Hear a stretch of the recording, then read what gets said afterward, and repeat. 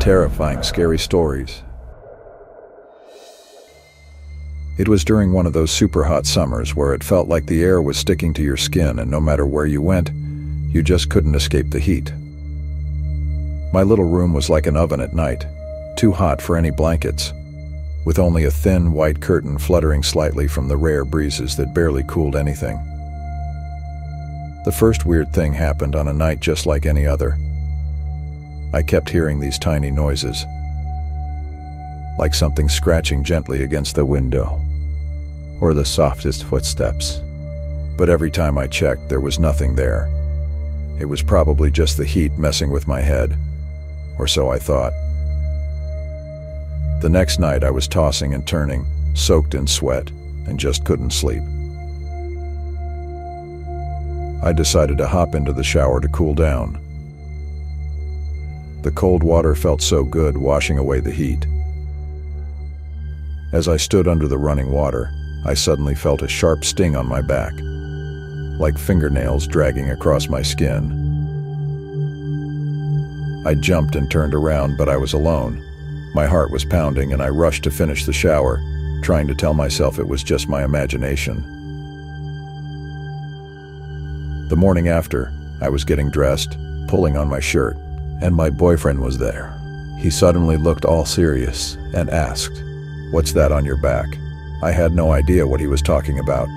He took a photo with his phone and showed it to me. There were three long scratches down my back. I hadn't felt anything, and there was nothing in my bed or shower that could have done that. It made my stomach turn. I had felt something in the shower after all, but I was too scared to admit it even to myself. It hit me hard then, all the odd noises, the oppressive heat, and now this, marks on my body. I remembered old stories about spirits that could leave real marks on the living, but I had never believed them. Now, here I was, with no idea how to explain what happened. Nothing else weird happened after that, but I couldn't just forget about it. I started being more careful, especially at night. No more late showers, and I double-checked every window and door before bed. It might have been nothing, but whenever I'm alone, I make sure to keep the lights on and the curtains closed, just in case.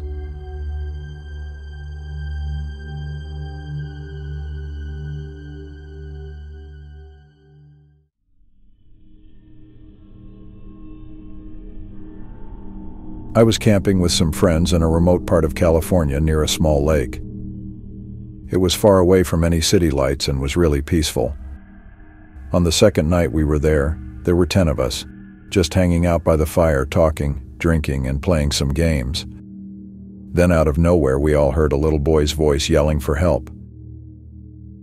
It was weird because there were no kids with us, and we were the only ones camping in that area. So after looking at each other for a few seconds, we decided to go and try to help this little boy. We grabbed our flashlights and headed towards the area where the voice was coming from. As we got closer, the voice got louder. Then, about 40 yards away from where we were, we saw this really tall figure, maybe eight feet, standing behind a clump of bushes, making the same sounds as the little boy we heard calling for help. It looked really thin and really pale.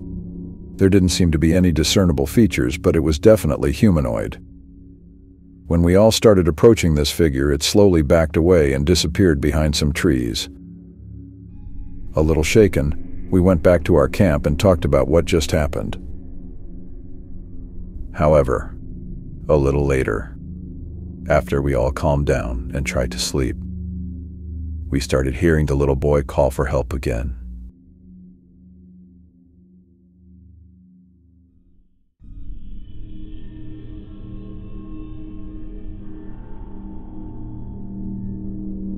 My whole life I've seen and felt things I just couldn't explain. But what happened in my home, where I live with my husband and daughter, was different. It scared me so much that I stopped chasing ghost stories, not because I got bored, but because I was too afraid. It all started with odd stuff happening in our house, noises we couldn't place, things moving on their own, and cups flying off counters by themselves. At first, we tried to ignore it, thinking maybe we were just forgetting where we put things or not paying attention. But it kept happening over and over until it became more annoying than scary. One day, something happened that really scared us.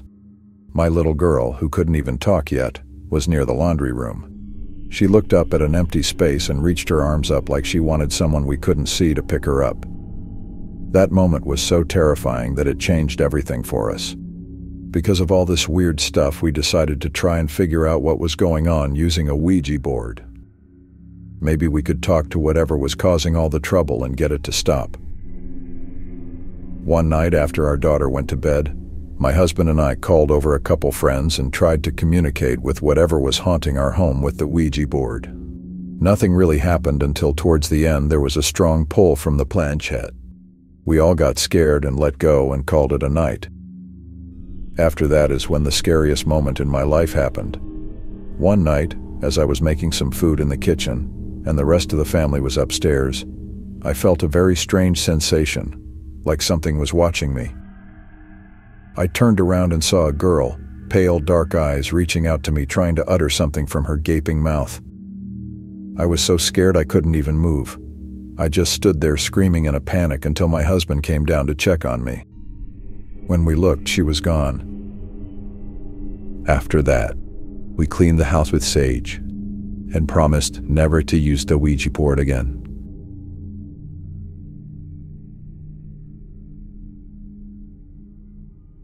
Make sure to like and subscribe for more stories.